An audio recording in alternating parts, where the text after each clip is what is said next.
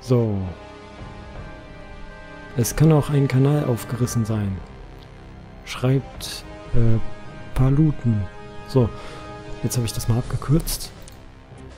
Ja, also so ein Kanal kann natürlich auch aufgerissen sein. Hm, ja. Ich finde, es soll... Wieso heißt das eigentlich erbeben? Heißt das nicht Erdbeben? Oder Erdbeeren? Das wäre doch schöner. Erdbeeren. Also sie sind da alle drin. Plötzlich gibt es so ein Erbeben. Und die laufen alle raus.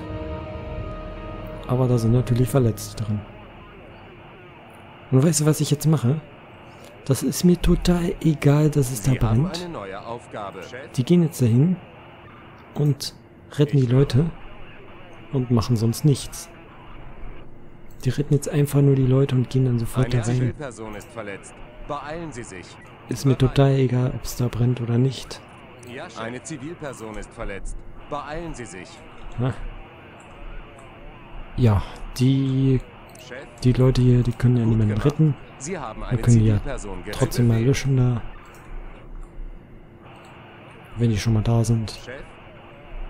Gut, der Fragezeichenmann kann da jemanden retten. Eine Zivilperson ist verletzt. Beeilen Sie sich. Ich beeile mich. Dauert aber noch... Oh. Okay. Gut gemacht. Sie haben eine Zivilperson gerettet. Ich glaube, der rettet die Person erstmal.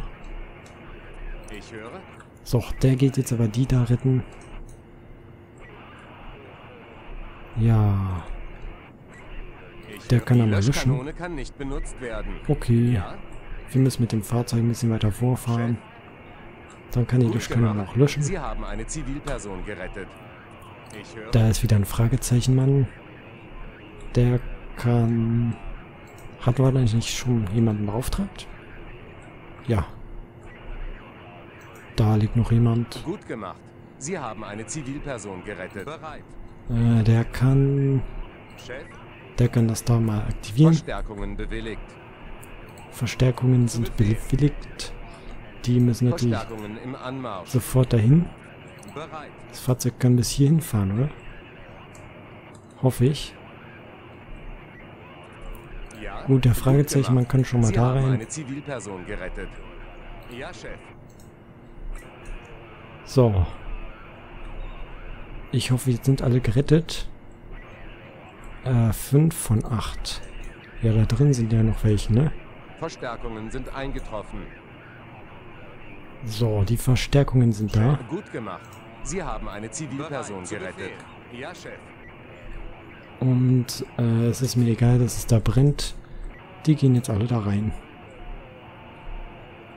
Zu Befehl. Äh, der Bergungsfachtyp, der Gut macht gemacht. das auf. Sie haben eine Zivilperson gerettet. So, ich habe gerade einen Tipp im Live-Chat bekommen, glaube ich. Ich guck mal eben drauf. Äh, rette die Leute, aber halte die Fluchtwege der Einsatzkräfte frei. Ja, aber der Fluchtweg ist ja sowieso gleich hier hinten, von daher ist mir das egal. Da gibt es ja dann keine Fluchtwege mehr hier draußen. Ich muss also, glaube ich, nichts frei halten. Chef? Chef? Ja. Elektrotechnische Brandursache. Feuer kann nicht bekämpft. Ich höre. Ja, ja, dann sagt das doch mal vorher. Zu Befehl. Gut gemacht. Sie haben eine Zivilperson gerettet. Dann gehe ich da halt rein und deaktiviere das. Ist doch kein haben Problem. eine Ihrer Aufgaben erfolgreich abgeschlossen. Ja? So. Sie haben eine neue ja, Aufgabe. Ich glaube, wir retten den erstmal. Dann muss der wahrscheinlich noch zum RTW gehen. Ja? So, die anderen kommen mal hier rein. Ja, Chef. Zu Befehl. Die U-Bahn läuft wahrscheinlich jetzt schon voll mit Wasser oder so. Ja, das dauert hier noch ein bisschen. Wir müssen uns aber wirklich beeilen, weil das geht ja ganz schnell hier. Ja? Aber die machen das ja schon. Bereit. Ich würde mal sagen, der macht da schon mal die Tür auf. Da ist jemand. Ich würde mal sagen, der macht da erstmal die Tür auf. Eine Zivilperson ist verletzt. Beeilen Sie sich. Und geht dahin. Gut gemacht. Sie haben eine Zivilperson gerettet. Ah, der Bergungstyp geht schon mal dahin. Chef, Und der rettet einfach mal die Person da. Beeilen Sie sich, Chef. So, hier haben wir wieder ein bewilligt. Fragezeichenmann. Chef, Verstärkungen im Anmarsch. Der bleibt mal da. So, wo sind die alle? Wieso laufen die alle da raus? Komm mal hier hin. Wir brauchen dich da. Also euch. Wir brauchen da alle. Ja? Eine Zivilperson ist verletzt. Beeilen Sie sich. Da ist das. Chef, Der kann jetzt da die Person wegbringen. Verstärkungen sind eingetroffen. Sehr gut. Die sind schon da. Ja, Chef. Da müssen wir jetzt ganz schnell hier durchlaufen und hier irgendwelche Leute rausholen.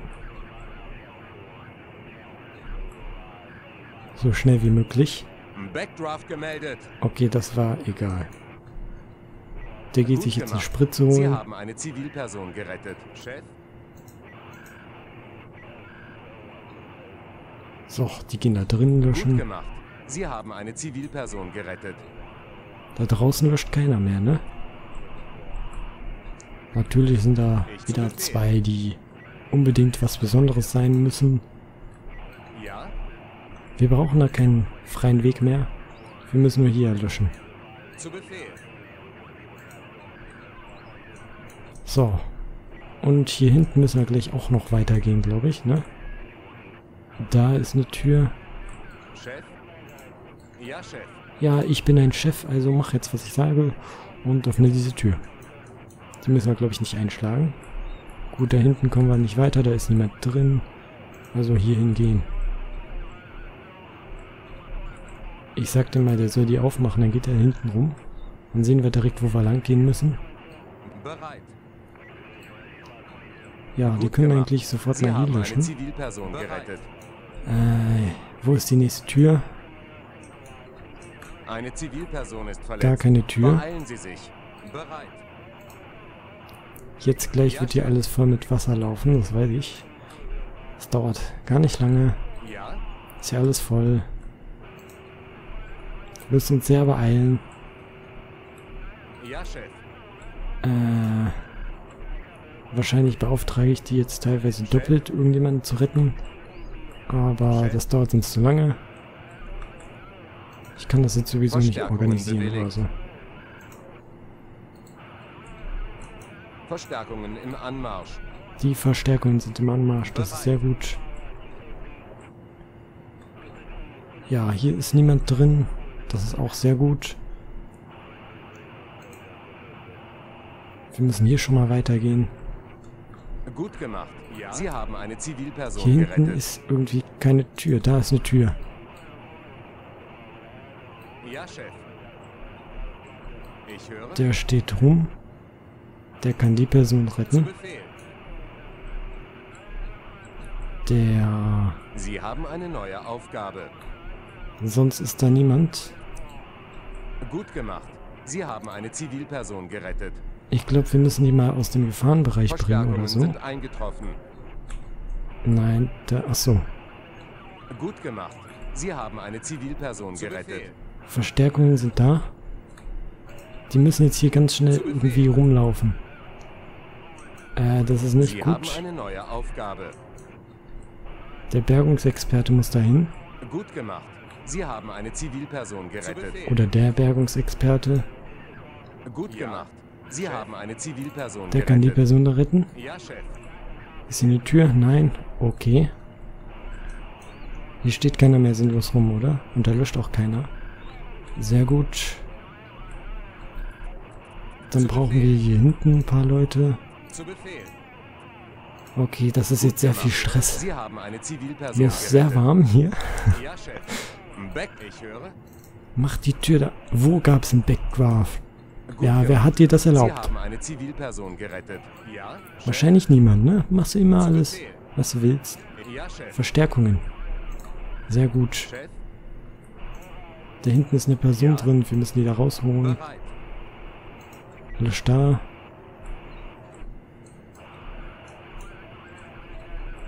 Ja? Ja, Chef. Der Bergungsexperte muss das Ja. da... Nein, mach du das da aus. Oder so. Er hat das jetzt nicht wieder angemacht, ne? Nee. Okay. Zu Befehl. Bereit. Jetzt bleibt da. Der Dummkopf. Der ist so dumm. Ich höre. Keine Ahnung, wieso der so dumm ist. Da ist keiner Met drin. Sehr gut. Bereit. Oh, die sind da nicht eingesperrt jetzt, ne? Ich glaube, die kommen da nicht mehr weg. Wenn da kein Fluchtweg ist, dann haben die echt ein Problem jetzt, ne? Aber da muss ja einer sein, denke ich mal. Jetzt macht er die Tür auf. Da ist eine Person drin. Hol die da raus, bevor jetzt wir wieder alles voll läuft mit Wasser. Ja, Chef. Und jetzt würde ich mal sagen, gehen die hier hin, Ja, Chef. alle schon mal dahin gehen, Chef.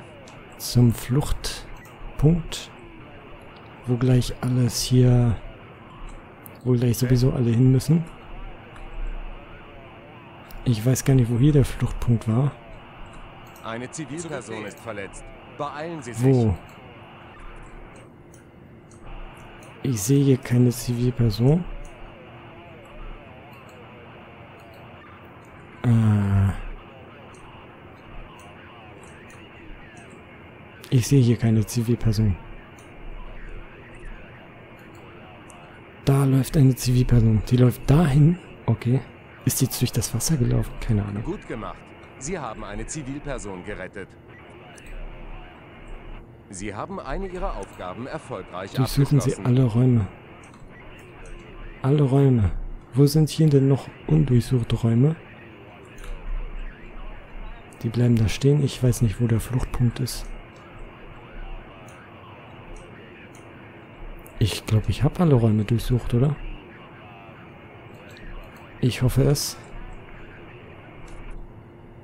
Jetzt wird's spannend. So.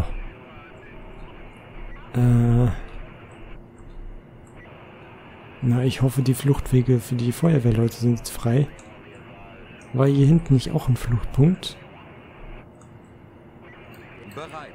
Vielleicht sollte ich das dann mal löschen gehen. Für den Notfall. Zu Befehl. Falls da doch der Fluchtpunkt irgendwo ist. Zu Befehl. Die können ja mal ein bisschen löschen. Ja? Ich weiß nicht, wo hier noch ein Raum ist, der noch nicht durchsucht wurde. Die sind da eingesperrt, oder? Da, guck mal da. Da ist aber niemand drin, oder? Da ist niemand drin, okay. Okay, die müssen sich jetzt mal sammeln. eine Ihrer Aufgaben erfolgreich abgeschlossen. Zu Befehl. Ich gebe den Befehl zum Sammeln. Wo läuft... Achso, außenrum. Alle sammeln. Gruppieren bitte. Niemand darf hier alleine rumlaufen. Und hier draußen ist auch keiner mehr, ne? Das sieht so aus, als wäre alles gut. Ich höre. Wie wär's, wenn wir hier mal diese Lüftungsdinger anmachen? Chef. Vielleicht ist das ja hilfreich. Ich zu Befehl. Ich glaube hier, die... Ja, Chef. Wo sind die Fluchtpunkte? Hallo? Da. Was ist jetzt? Jetzt hat sich das Spiel minimiert. Genau im Sie falschen Moment. Hallo? Chef. Bleib stehen, du Blödkopf. Zu, zu. Ihr müsst jetzt... Ach so. Ich bin hier der Blödkopf. Dann geht dahin. Ich Die da gehen auch dahin. Und hier hinten, Ja. die sind ja eigentlich schon da. Ich höre. Die sind weg. Okay. Hier hinten, die sind auch weg. Weg, weg, weg. Alle weg. Alle weg. Hier läuft niemand mehr rum. Die sind auch weg. Äh, ich hoffe wirklich, die sind jetzt alle Ja. wirklich weg. Die können mal zum Sammelpunkt gehen. Das bringt wahrscheinlich nichts. Sie müssen, glaube ich, nicht dahin. Die sind ja draußen. Da passiert nichts. Aber vielleicht zur Sicherheit einfach mal. Sonst sterben die nachher oder so. Und dann sagt jemand, dass ich da schuld bin oder so. Hier sollten jetzt alle raus sein. Aber das mit dem Strom, dass der noch funktioniert, ist trotzdem nicht normal, finde ich.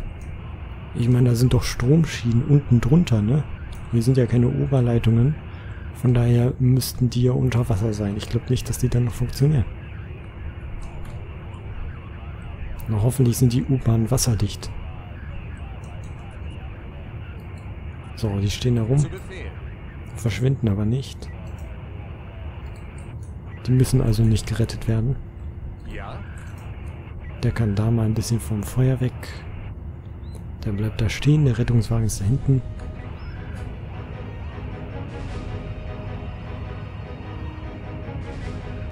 Diesmal steht da keine Person rum. Sieg.